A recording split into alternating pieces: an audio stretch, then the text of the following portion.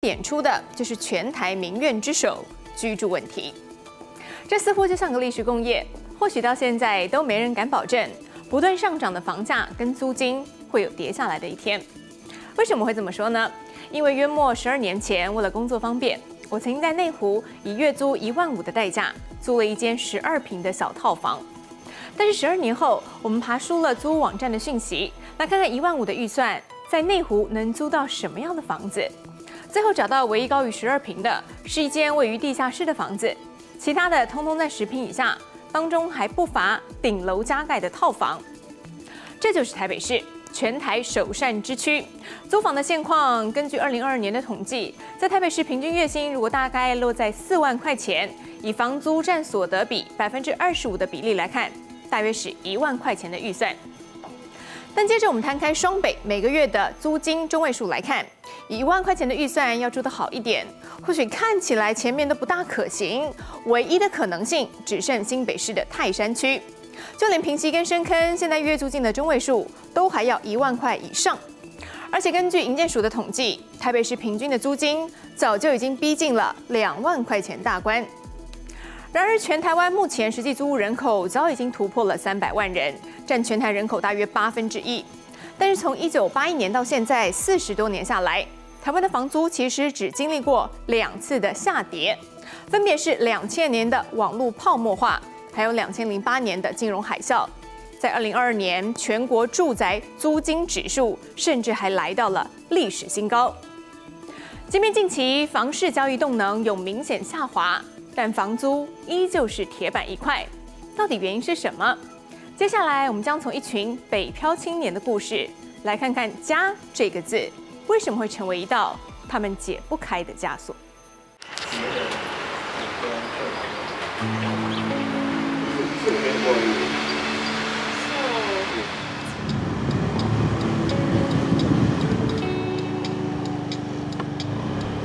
只有十二度，外头下着细雨。周先生刚送完外送，回到自己的租屋处。年近不惑之年，虽然有一份正职工作，但他还是得利用闲暇时间打打零工。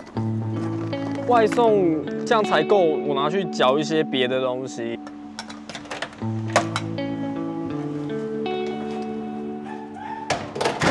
我生活费大概就百分之二十五的费用拿去付房租，其实就不够。房租是北漂族每个月心中的痛，也是无法节省的开支。为了获得更优惠的租金，舍近求远是方法之一。八平左右的大小，你如果在南港找，大概就一万九、两万一；如果再往台北市区里面去，那个应该两万五跑不掉。如果住在台北市里面，虽然我去其他什么活动很方便，那做做一些买什么东西或吃什么东西都很方便，其实我平均负担的金额就真的比较高。总统参议文回味。租金往往是考虑租屋最重要的因素，再来才是地点或是其他的条件。跟周先生有着类似状况的还有他。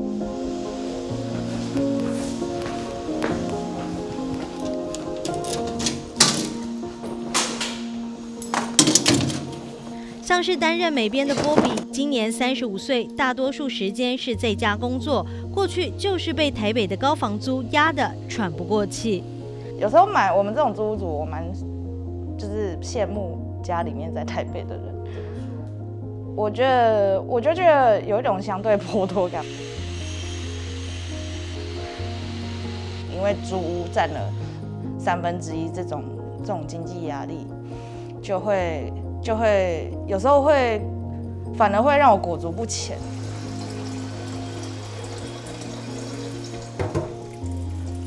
本身是南投人的他，租屋的经济压力让他在台北生活的时候常常怀疑自己，所以我才说我会三进三出台北啊。有时候会觉得是不是，人家也讲说啊，你出去外面走一走，台北是闯一闯还是会回来的啦。讲到就是听到这个话，就是心里都会很不舒服。我就觉得好像是在指引你的能力的感觉。真的是没有能力吗？我们摊开台北市五九一租屋网站的资料，二零一零年到二零一九年，双北各捷运站点一公里内的套房租金平均上涨了三成。同一时间，青年平均起薪涨幅只有百分之十六。根据统计，台北市捷运周遭前二十大高租金的站点就落在大安、信义、松山及中正四个行政区，房租平均每平接近一千九百元。如果用八平套房来计算，就是一万五千两百元。以新鲜人月薪三万元来说，根本没办法租在精华地段，或是只能选择五平以下的空间，又或者只能找人合租。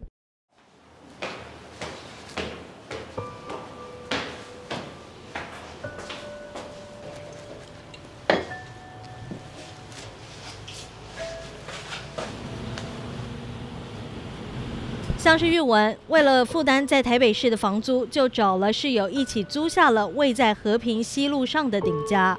呃，我原本住在永和，然后我以前住住过新庄跟三重这样子。那呃，希望搬离到台北市差不多近一点的地方，还是因为第一个是工作的需要。